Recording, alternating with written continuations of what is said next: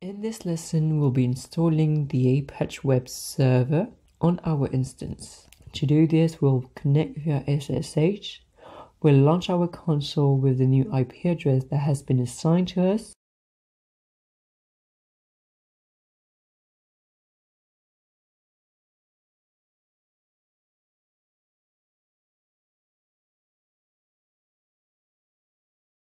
As usual, we'll validate. The first thing we have to do is to type in the command that you see on the screen. It will allow us to modify the rights in order to install the Apache web server.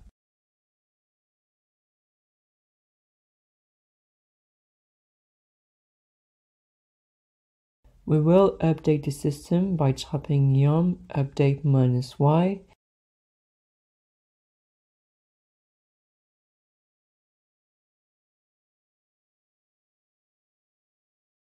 It will allow us to have the latest version available on our system. Now that our system is up to date, we will clean the screen and install Apache.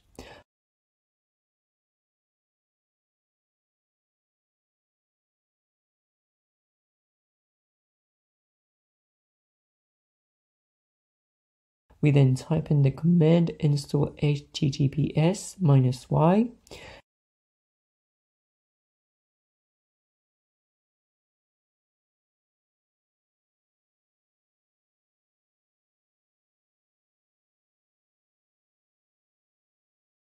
The minus y will allow us to not answer the installation questions.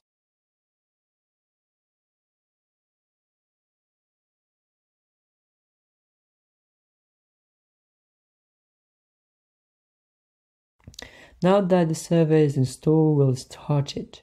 To do so, you have to type in a new command, systemctl start httpd service.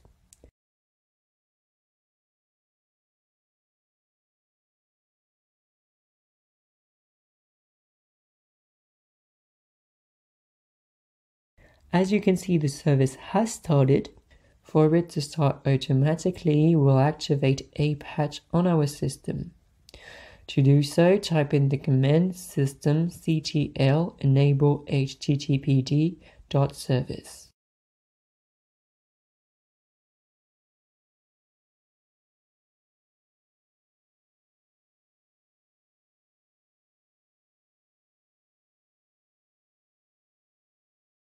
Now to check that our system works properly, type in curl localhost 2.18. We then find ourselves with a page full of lines that's quite difficult to read. In order to console the same page on the web, we get the public address of our instance and we simply paste it on the browser on the port 80.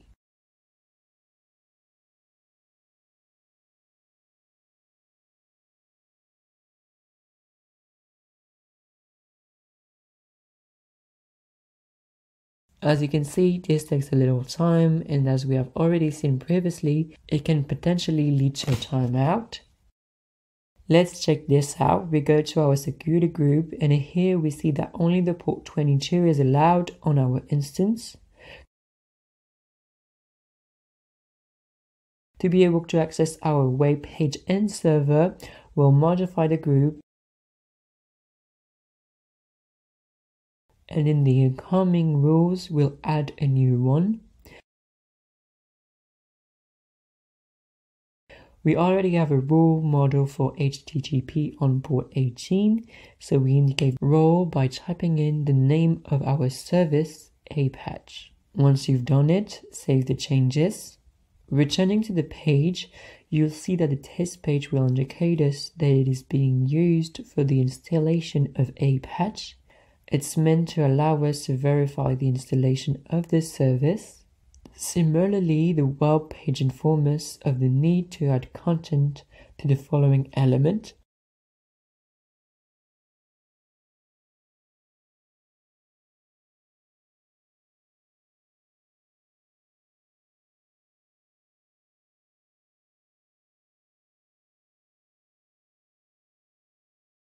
I empty my screen, we create an indexed page for HTML in which there will be a basic message. Hello everyone. And we have to send this message to the command slash var slash ww slash html slash index dot html.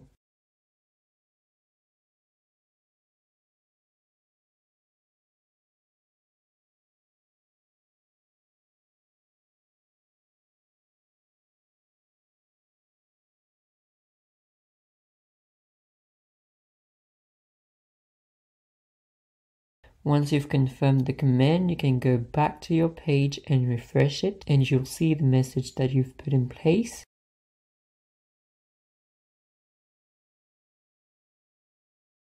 As you can see, I've made a small error. To correct it, go back to the control center. I'll remove the extra word and I'll confirm again.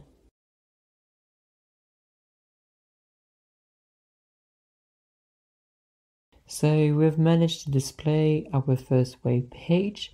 In order to make things more interesting, we'll modify this page and add a new message.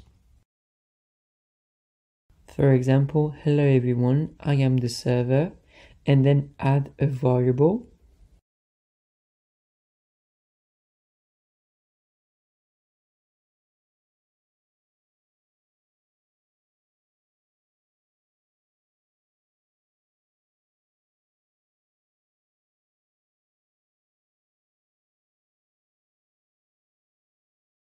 As you refresh the page, you'll see the new message, followed by the private IP address and the zone of our server.